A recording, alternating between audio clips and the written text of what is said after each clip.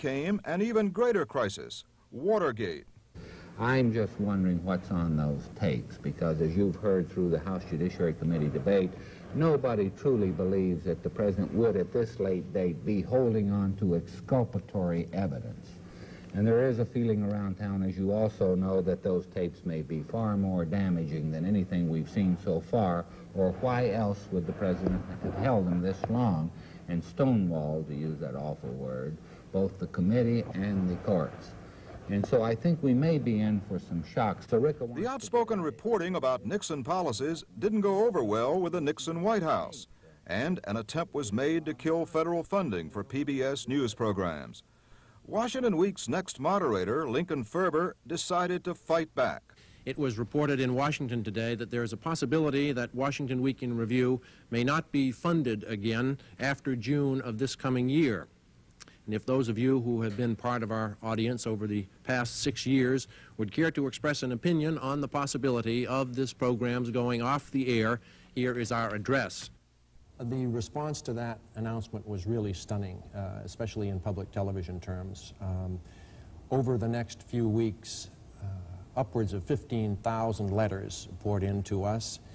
And one of the really touching things about it, I think, was that um, a lot of those letters included money, uh, dollar bills, checks for $15, $25. Uh, the people just wanted to keep that program on the air.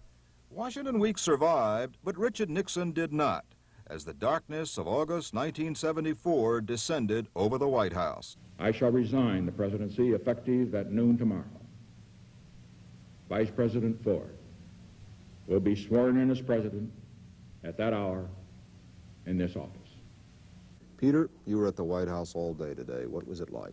Well, let me start with the East Room of the White House, uh, Paul, where a remarkable changing of the guard occurred without pomp, without precedence, as we know. The East Room is a scene of historic events, ceremonies of all kinds, from news conferences to diplomatic receptions, swearing in of cabinet officers to entertainments. Well, today we got uh, the former president, Mr. Nixon, saying his valedictory to his staff, to his cabinet, to his official family. And it was vintage Nixon. It was quite different from his speech, his resignation speech on uh, last night. I'm getting my nights and days mixed up here, Paul. But uh, it was all of the bitterness that Mr. Nixon contained in his resignation speech came out in that long, rambling discourse before his before his cabinet and his staff in the East Room. Uh, his uh, bitterness against the press, his bitterness against his enemies, his bitterness against those who would suggest that the Watergate principals got feathered their own nest.